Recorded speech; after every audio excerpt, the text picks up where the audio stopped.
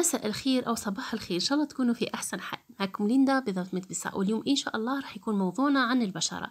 طبعا في الفيديو تاع العدسة طلبتوا مني روتيني البشرة. أنا بشرتي الحمد لله خالية من الحبوب من الآثار من هذيك الأشياء كل بعد ما كنت نعاني منها. راح نعطيكم روتين سهل تستعملوه على الأقل مرتين أسبوعيا. يخلي البشرة جميلة جدا نظيفة رطبة خالية من التجاعيد خالية من الحبوب. نضرة بالإضافة أنه ما كاش les cicatrices les points نبدو أول حاجة بتنظيف البشرة. بعد لا ننظفوها نعرضوها إلى البخار. أنا أحسن بخار خرج عليا لأنه بشرتي حساسة مختلطة اللي هو البابونج. وش نقول لكم يا البنات؟ البابونج رائع جدا ينقي البشرة يوحد لونها يعطي لها إشراقة جميلة جدا لأنه زهرة الكاموميل معروفة يعني حتى لعلاج الكلف. إذا تقدروا ديروا أنتم نعناع ديروا زعتر حسب ما تحبوا أنتم أنا نحب هذه. ثم بعد ذلك هنا نعطيكم ثلاثة صابونات مهمين جدا جدا للناس اللي بشرتهم حساسة ومختلطة. يا إما ديروا جين نيتوايان يا إما ديروا صابونه مارسيليا يا صابون الجليسيرين يا الصابون الأخضر تاع تونس. هذه الصابونات هايلين بزاف. أغسلوا بهم على الأقل مرة إلى مرتين اسبوعيا.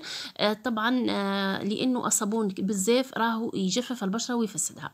ثم بعد ذلك راح نروحوا نعمل مرطب نستعمله أنا لشعري الجسمي الوجهي الكامل جسمي يرطبه ويعني فيه يعني مواد فعالة جدا جدا جدا اللي هي تحفظ المياه داخل البشرة أول حاجة راح نجيبه زيت جوز الهند راح نجيبه ملعقتين كبيرتين. ثم نضيف عليها ملعقة صغيرة من زيت الورد.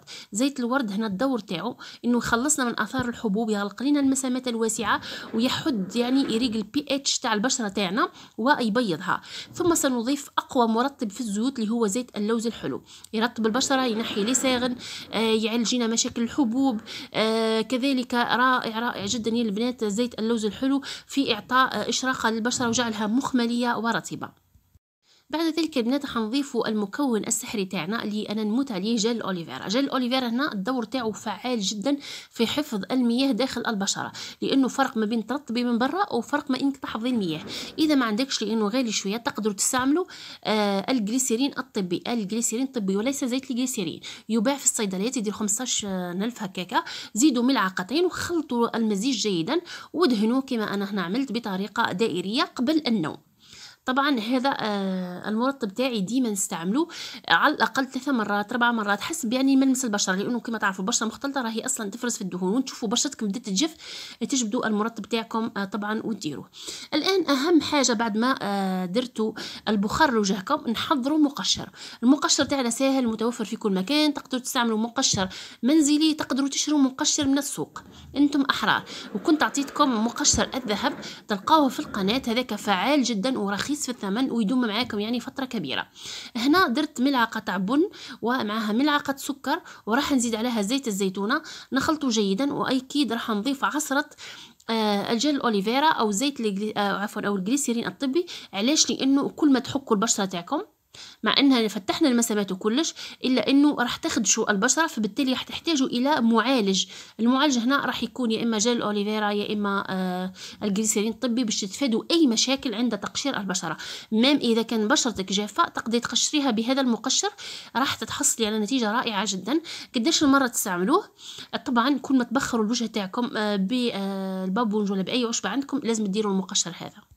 الآن البنات جهزنا المقشر تاعنا راح نروحوا لآخر مرحلة اللي هي تقشير الوجه. تقشير الوجه كما قلت لكم على وجه مبلل أو معرض للبخار وبطريقة دائرية وغير بشويه إحنا ندلكو ندلكو ندلكو ونركزوا على الأماكن اللي يكون فيها الآثار تاع الحبوب فيها المسامات واسعة لأنه التقشير يقفل حتى المسامات تاع الوجه. الآن راح نروح لآخر حاجة اللي هي خلطة وجه القمر لأحد الأطباء أنا ما يعني ما نستغناش عنها اللي هي ملعقة تاع خميرة آه طبيعية اللي هي خميرة الخبز نضيفوا عليها ماء دافئ ونحركوها جيدا. كما تشوفوا هنا وحبيت نقول لكم باللي الخميرة لا تسبب أي شيء للبشرة. بالعكس هي تغذيها توحد اللون آه، تعطي آه، فرصة للكولاجين إنه يزيد يتكون وكل الأطباء راهم ينصحوا بها. الخميرة ما دير لا دود لا والو راهي مجرد إشاعات.